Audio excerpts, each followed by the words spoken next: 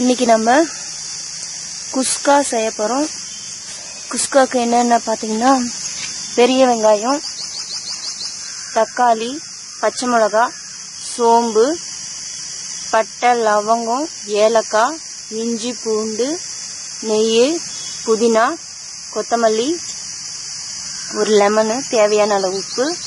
நான் குஸ்கா செய்யறதுக்கு பாசுமதி ரைஸ். பாசுமதி அரிசி ஒரு கிலோ எடுத்திருக்கேன்.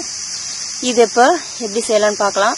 நான் இஞ்சியும் இஞ்சி பூண்டு உரிச்சு வச்சிருக்கேன். ஏற்கனவே அது வந்து பேஸ்ட்டாக அரைச்சிக்கலாம். இஞ்சி பூண்டு பேஸ்ட்டு அரைச்சிட்டு பச்சை மிளகாயை நல்லா கீறி வச்சுக்கிட்டு தக்காளி வெங்காயம் எல்லாத்தையும் நறுக்கி வச்சுக்கலாம்.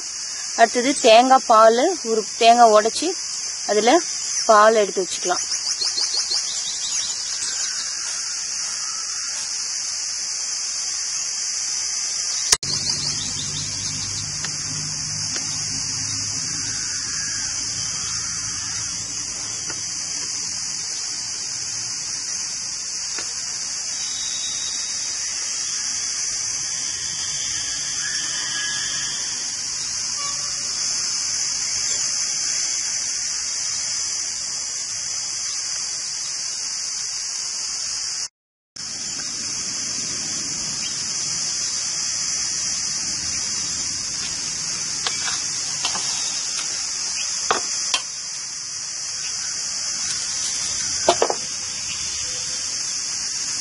நான் ஒரு கிலோ அரிசி எடுத்திருக்கேன் பாசுமதி அரிசி.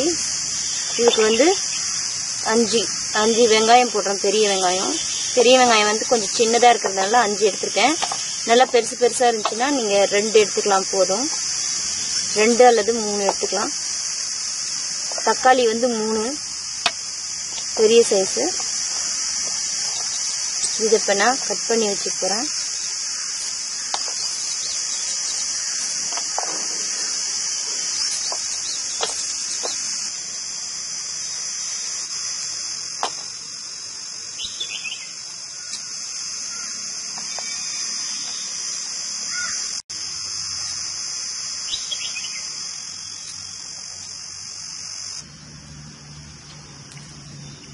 பாருங்க நான் தேங்காய் உடச்சி எடுத்துட்டு வந்தேன்.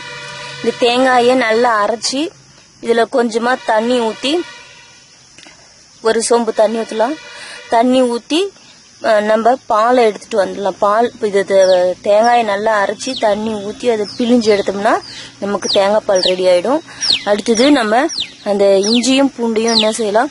அரைச்சிட்டு வந்துடலாம். இந்த தேங்காயை அரைச்சிட்டு வந்திருக்கு. இதில் இந்த தேங்காய் அரைச்ச தண்ணியை எடுத்து இதில் கொஞ்சமாக ஊற்றி இப்போ நம்ம தேங்காய் பால் எடுத்துக்கலாம். ஒரு கப் வர அளவுக்கு நம்ம தேங்காய் பால் எடுத்துக்கலாம்.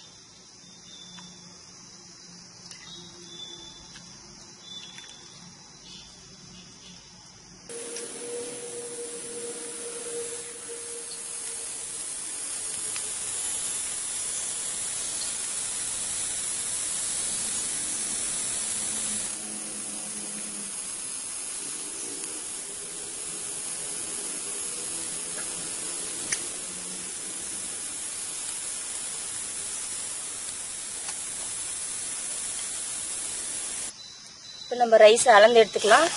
பாருங்க.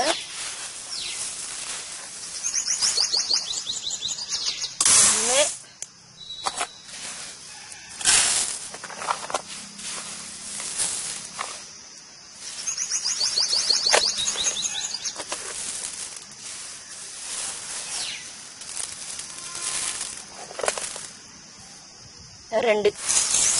ரெண்டு இது எடுத்திருக்கேன். இதுக்கு மூணு கப் தண்ணி தான் வைக்கணும். இப்போ இந்த அரிசியை நம்ம ஊற வச்சுக்கலாம். நம்ம இப்போ வதக்க போகிறோம் இது கொஞ்சம் ஊற வச்சுக்கலாம்.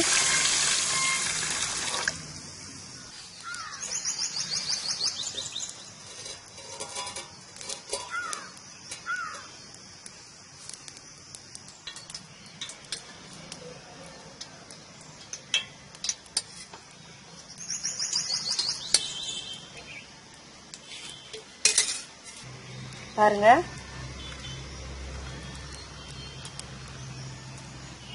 ஏலக்காய் நாலு. பட்டை ஒரு சின்ன சின்னது. பட்டை ஏலக்காய் லவங்கப்பூ ஒரு ஆறு. பட்டை ஏலக்காய் லவங்கம். இது நம்ம இப்போ எண்ணெய் காஞ்சி ஒரு ஸ்பூன் அளவுக்கு. எண்ணெய் காஞ்சிச்சு? இது நம்ம போட்டுக்கலாம்.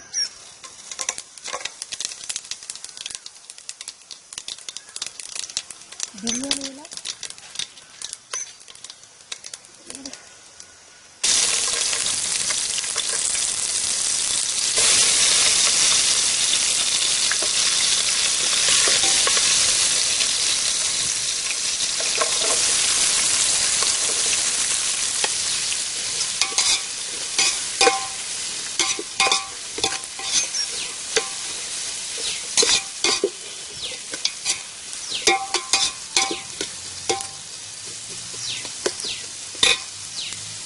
நல்லா வதங்கணும்.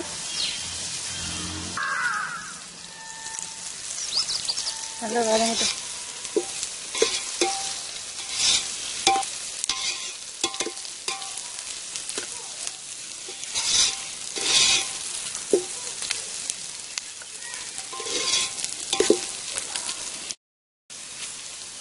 வெங்காயம் நல்லா வதங்கிடுச்சு. அது கலர் மாறின உடனே நம்ம இந்த இஞ்சி பூண்டு பேஸ்ட் எடுத்து போட்டுக்கலாம்.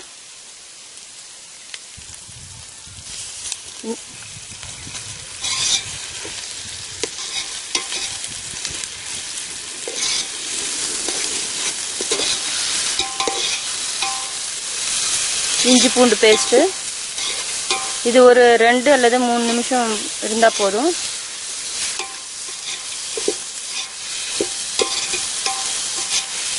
நல்லா வதங்கணும்.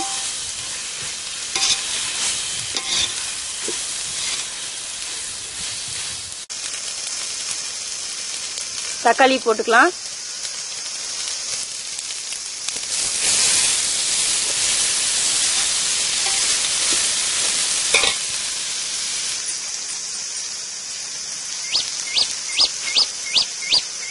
புதினா.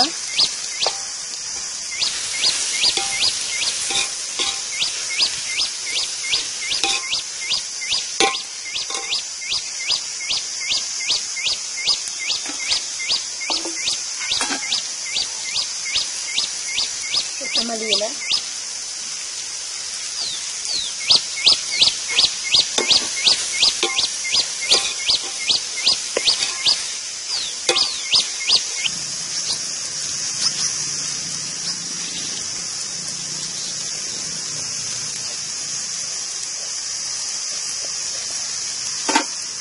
இந்த ஸ்டேஜில் நெய் கொஞ்சம் ஊற்றிக்கலாம்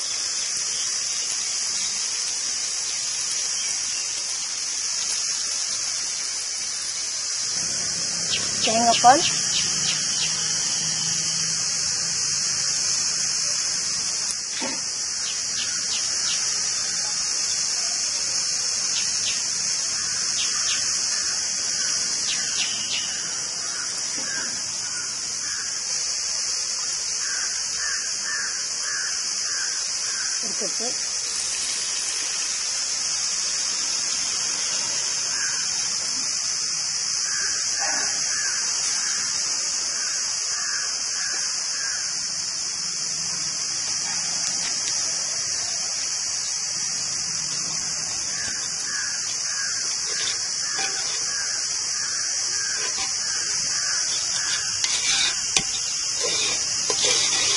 அரிசி ரெண்டு கப் எடுத்துருக்கோங்க. இதுக்கு நம்ம மூணு கப் தண்ணி ஊற்றணும் அவ்வளோதான் மிச்சம் ஊற்றிக்கலாம் நாலு நாலு ஊற்றினோம்னா அரிசி ரொம்ப குழஞ்சிடும் பாசுமதி ரைஸ் வந்து எப்படின்னா ரெண்டு.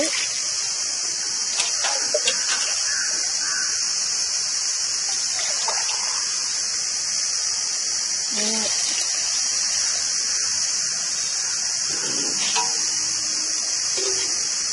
தேவையான அளவு உப்பு சேர்த்துக்கலாம்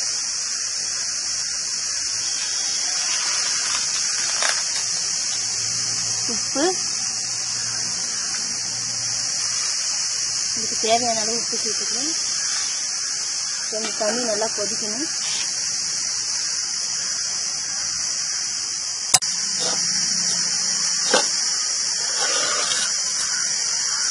தண்ணி நல்லா கொதிச்சிருச்சு. இப்போ நம்ம அரிசி எடுத்து போட்டுக்கலாம் அதில்.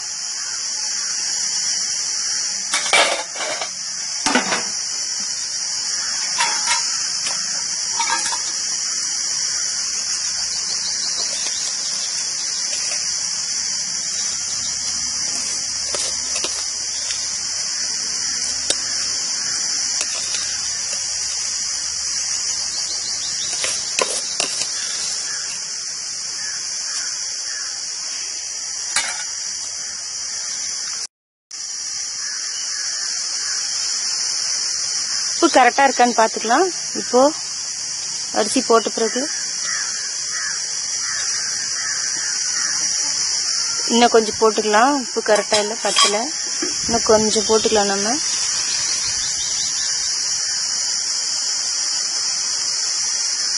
இந்த ஸ்டேஜில் லெமனை நம்ம புளிஞ்சு விட்டுக்கலாம். உப்பு போட்டு.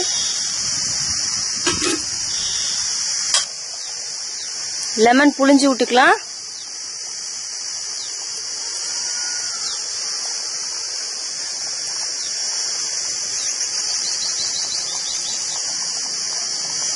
ஒரு லெமன் அப்படியே போட்டுறேன்னா ஏன்னா அப்போதான் அந்த சோறு ஒன்னோட ஒன்று ஒட்டாது. நல்ல பல பலன்னு வரும் நமக்கு. லெமன் புளிஞ்சு விட்டுக்கிறேன்.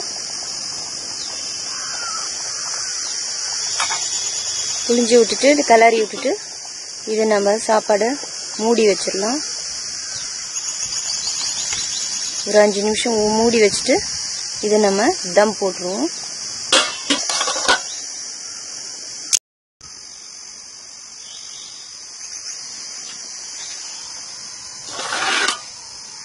தண்ணியெல்லாம் வத்திச்சு. இப்போ நம்ம அதை நம்ம மூடிட்டு நெருப்பை அணைச்சிட்டு தம் போட்டுடலாம். நெருப்பை எடுத்து அந்த மூடி மேல நம்ம நெருப்பை எடுத்து கொட்டி நம்ம தம் போட்டுடலாம். இல்லைன்னா அடி பிடிச்சிரும். தண்ணி நல்லா வத்தின பிறகு இது தம் போட்டுருவோம். நல்லா மூடிட்டு அடுப்பை அணைச்சிட்டு அந்த கறியை எடுத்து இந்த மூடியில் போடணும்.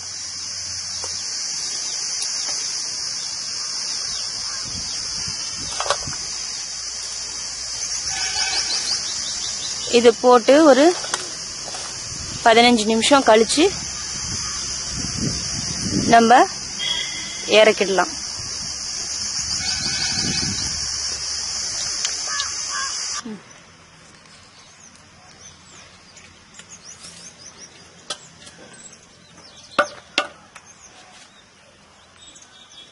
இருபது நிமிஷம் ஆயிடுச்சு. இப்போ நம்ம இந்த குஸ்காவை இறக்கிடலாம். நல்லா வெந்துருச்சு. வெந்துருச்சான்னு பாருமா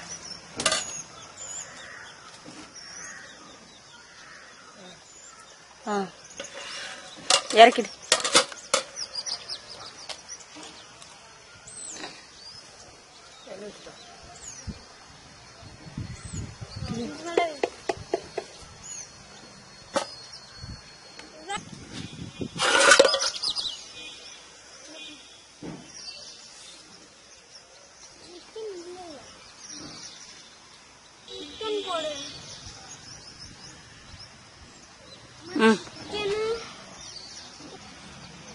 குஸ்கா நமக்கு ரெடி ஆயிடுச்சு.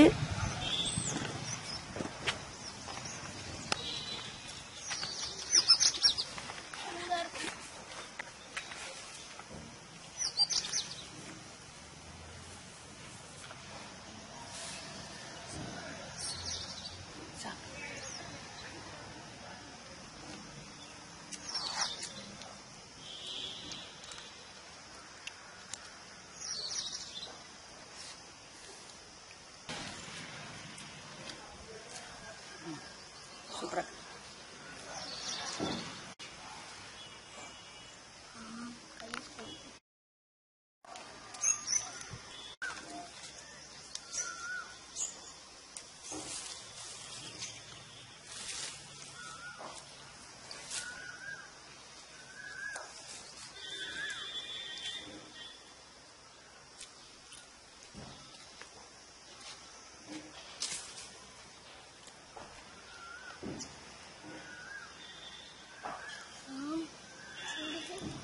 தாங்க சாப்பிடு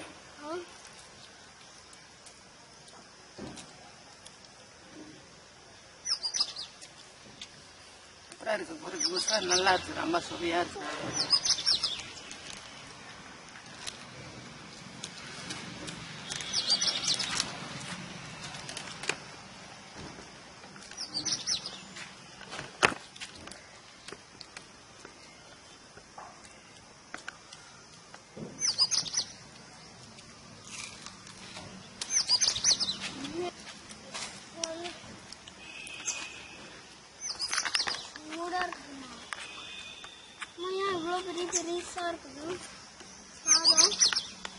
basmati rice.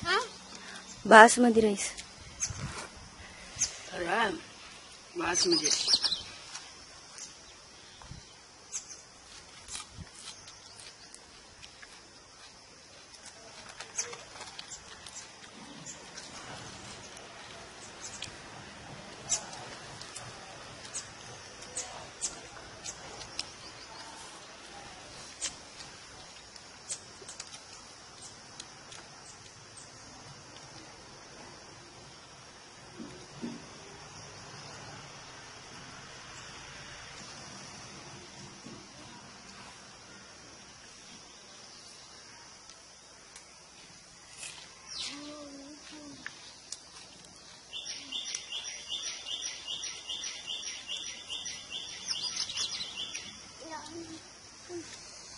Hmm, papa sa perlahan.